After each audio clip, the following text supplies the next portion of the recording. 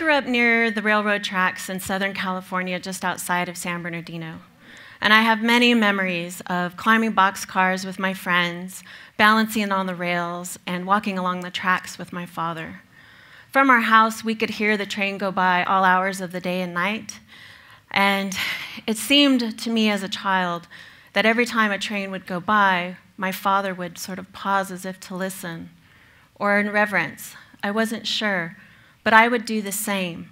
And it was through this that we formed this uh, really special bond um, and connection with trains.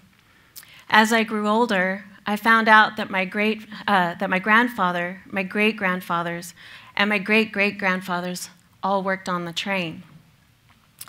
And uh, my family, along with many uh, other Yaqui families, uh, the train was a pathway of survival. It was a route to escape genocide uh, by the Mexican government. And, um, and so uh, when I hear the sound of the train, it not only connects me back to the place where I grew up and to the relationship with my father, it also connects me back to our Aboriginal homelands. All I have to do is touch the tracks, and those tracks are connected back. And so I tell you this story because the train is a, an example of a system. The railway is an example of a system. And a system is only as effective as it is designed by the uh, by, is, as it is designed by the designer, but also in how it's used by the user. And so while the train was developed to be able to take a person from where they are to where they want to go, an unintended consequence for me through the generations was a loss of community, a loss of culture, and a loss of connection to a way of life that was very much connected to place. I work in public health, and unlike the healthcare model that focuses on individuals, public health focuses on communities as a whole. And so it really focuses on putting the systems into place that create conditions in which people can be healthy. And so when we think about the, um, oops, so when we think about the train and the uh, healthcare system for Native Americans, it is both a result of colonization and um, some unintended consequences. Tribes are inherently sovereign, and that sovereignty is carried out through traditional practices for thousands of years. Traditional practices were essentially a system that kept an entire group of people healthy. So it wasn't just about planting crops, it was about working with the environment, knowing the environment, knowing how to work with the environment in a way that was going to uh, capitalize on the strength that is in the plant so that it, the plant could be the very best that it can be. And not only uh, was the plant harvested, but oftentimes there were songs, dance, prayer. All of these aspects um, and ways of life are what keep, kept people healthy. Now, while many of these traditions still exist today, many have been uh, fragmented or, in some cases, completely destroyed by policies of genocide, forced removal, and assimilation. So, in that sovereignty, although it's recognized in our US Constitution, the federal government, for the last 200 years, has had a number of policies that have systematically broken down these systems. Initially, the health care was the war within the War Department. So, the purpose of that system was to contain disease. And what people don't know often is that the healthcare is actually a trust responsibility. So, in other words, in exchange for land, American Indians and Alaska Natives were to be provided with health care, education, uh, other social services. And so sometimes people will say to me, well, Native Americans get free health care. And it wasn't free. It's been bought and paid for with land and with the lives of our ancestors. And so when we think about going from a place where you have a way of life that kept you healthy to now having a healthcare model that's focused on containing disease that was later turned into a similar uh, healthcare model that we have today that then just focuses on disease. Um, you know, it, it, it continues to, to build a cycle of, of illness. Traditional foods were replaced by commodity foods, which have little to no nutritional value.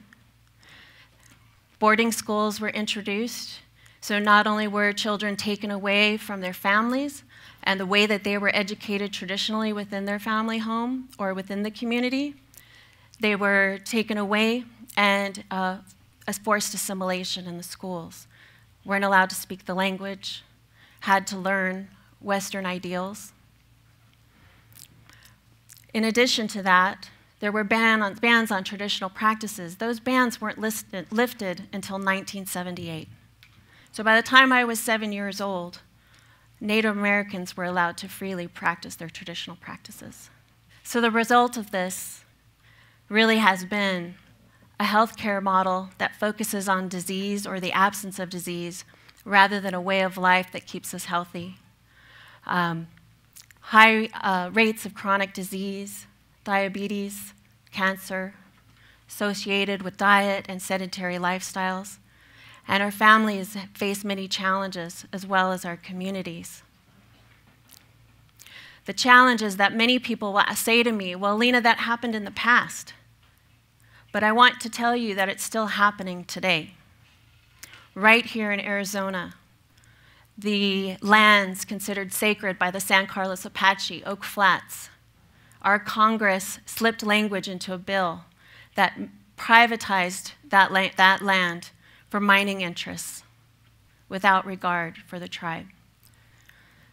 Our brothers and sisters in Australia, our Aboriginal brothers and sisters, their communities are being closed and people are being relocated for the very same reason.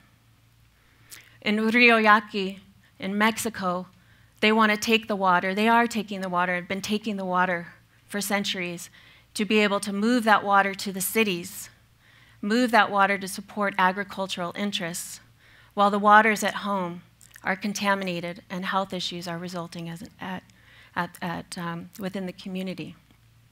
And so this isn't just something that happened in the past, it's still happening today, and the journey matters.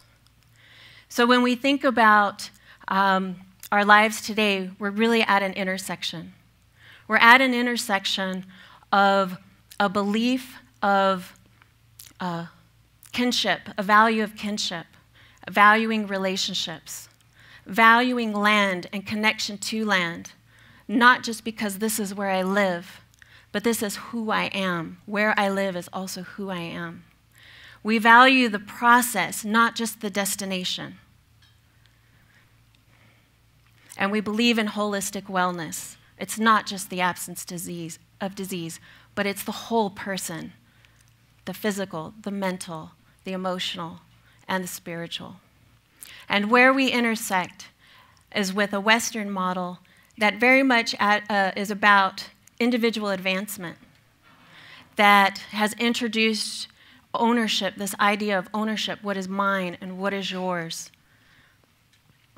It has also very results focused. What is the outcome? What are the results? And when we think about uh, disease, and a lot of times, in fact, a friend of ours just told a story about her mom, and she said, What brought you in here? The doctor said this to her. And she said, Well, the car. and the doctor asked her again, repeatedly. And then the doctor, and she kept saying, the car. And she finally turned to uh, her, her daughter, our friend. She said, Does she speak English? and she said, You asked her what brought her here. The car brought her here. I think what you mean is what is wrong what you know what is uh, what are you experiencing what discomfort what's happening so there's this disconnect um, but it's at this intersection of these traditional values and sort of western healthcare that i as the executive director of red star innovation stand red star the name red star has many reasons but the one i'm going to share with you tonight is about uh, celestial navigation. Uh, some of you might be familiar with wayfinding, uh, Pacific voyaging. And um, navigational practices have been used for centuries. And sometimes the red star is the easiest one to recognize when trying to identify where you are in relation to where you want to go. And anybody who has sailed or used other navigational systems knows that sometimes the best way to get from one place to another is not always a straight line. The journey matters. And so, in our work for the last four years, we, have been working with um, and meeting with tribal leaders, urban Indian health uh, organizations, tribal organizations, to better understand how can we carve out a space for ourselves to evolve these systems in a way that makes sense for us. And together in March, we held a forum where people from all over the country came, and we identified a, uh, uh, some very uh, key strategic directions that emerged into a public health agenda, a blueprint for moving things forward. There were many things that emerged, but the very thing that uh, was at the core was that first and foremost, our health uh, services and programs need to start with community and family at the very center. That is at the very heart of everything that we do. Our culture, our identity, and, and uh, uh, our traditional practices and knowledge and ways of being are the foundation. That is what we stand on. That is where we, we pull our strength. And above us is integration, because we are not just our bodies, we are not just our minds, but yet our health system is designed to deliver service in silos. And we need to integrate because it is in that view of the whole that our service can really have meaning. Many tribes are looking at different ways to carve out systems for themselves, to identify ways of doing, bringing, revitalizing traditional practices or ways of doing things that make sense for them. Some examples include traditional foods, both the planting, the harvesting, and the eating, right? So bringing healthy foods in in a way that honors traditions, involves the community, and moves things forward. Tobacco is another. Commercial tobacco is so filled with additives and chemicals and is so addictive. You take something that was once very sacred and very special to many tribes, not all tribes, but many tribes have tobacco as central to some of their um, traditional practices. I know of a tribe that has that no longer was using traditional tobacco, but has revitalized that practice of both the growing, the harvesting, the songs, everything that goes with that, but then also bringing uh, traditional tobacco into their ceremonies. The other is economic development. Uh, tribes have very diverse economic development, and as governments, they can enter into economic enterprise that not just benefit the uh, tribal uh, economy, but also the economy that's all around them. So there's examples of manufacturing, construction, forestry, food, uh, tourism, tribal economic development is very diverse and is a very important part of that sovereignty. So, if we want to revitalize our practices and really look at the systems that we have in place, we need to reclaim our health. We need to reclaim our wellness and take ownership and make conscious decisions to make meaningful connections so that what we do uh, is by tribes for tribes. And in that, we can revitalize these practices and evolve the systems that work that are in place so that we can create something that improves health. Now, this isn't just important for indigenous communities, this is actually very important for everyone. Because for the first time, we're beginning to see changes in our nation's health, where the coming generations are beginning to live shorter lives than the last. And this has a lot to do with the foods that we're eat, that we're eating. They're so genetically modified. They're so processed. It also has to do with um, more sedentary lifestyles, technology, and less physical activity. But not only that, through technology, while we can connect through technology, how many times have you been sitting at a table and everybody, or seen a table of people and everyone's on the phone connecting with someone other than the person who is right in front of them? In terms of education, people who are graduating from college aren't finding the careers as easily as they did when perhaps I graduated from high school. So the opportunities to, to make more than the generation before, which was the vision of my parents and would be the vision of our children, isn't happening quite as easily as it did for us. And so all of us can benefit from looking at the systems that are in place and moving things forward. I want to take a moment to acknowledge my ancestors and those that have gone before for their sacrifices and their uh, persever- perseverance, I wouldn't be standing here before you today, for they too st- stood at an intersection. We are all standing at an intersection. What are you going to do to reclaim your health and your wellness? And how will you reconnect and connect with your family and with, and with your community to revitalize ways of life that will keep us healthy all of us. The journey matters. Thank you.